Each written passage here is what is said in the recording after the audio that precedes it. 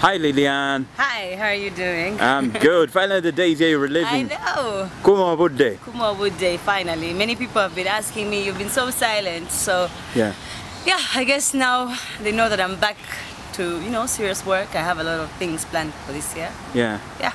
Uh, you have a concert. Speaking a of the concert. I'm so nervous about that. Like when they're telling me, Lillian, this year we have to have a concert, I'm like, oh my God. Like I was biting my fingers, I'm so nervous. But yeah, Yeah. I'm warming up to the idea and I'm very excited. Can't wait for August 21st. Yeah, because I remember when you put out the fly on social media, it was Yeah. buzzing. Everybody was like, finally. Finally, yeah, you know, because there are people who want to see me in concert, and you know, if you don't come for my Big Mike shows, because Big Mike's is a different kind of thing for me that I do. It's more of a fun thing. Yeah. So the concert is just all about Lillian. Yeah. So yeah, All right. I'm excited about the response. All right.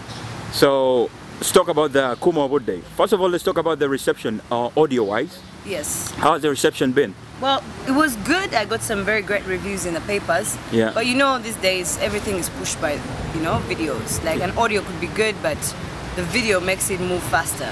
So uh, it, it was playing, getting a good good airplay. But I think now that the video is out, it's going to even work much better for me.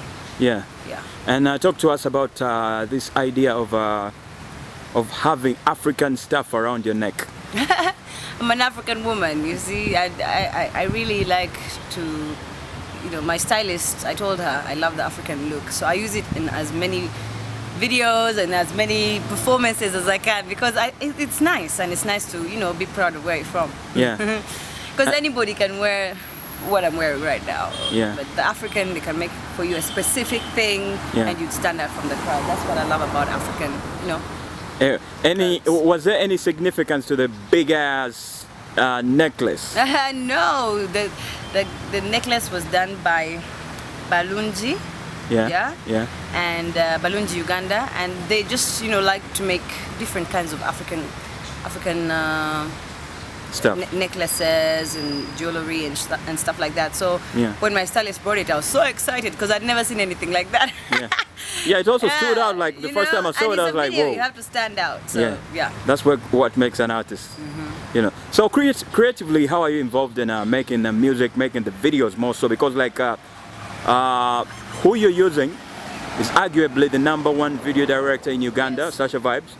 So at times when people are working with uh, the number one people, they, or they kind of uh, give everything to them to take off the creative control. How is Lillian involved? Well, the thing I love about Sasha is that, uh, you know, he's not that kind of director. He'll come with his idea, and, you know, if you like it, you know, he will go ahead with what he had planned because they, they write up a script for you. Yeah. And I, I, I didn't see any problem working with him. He's very kind, he's very, he's very, he's a very simple guy, and, you know, it's easy to work with him. Yeah. Yeah. So if I don't like something, I'll tell him, you know, this this didn't look good, and then he'll he'll he will listen to me.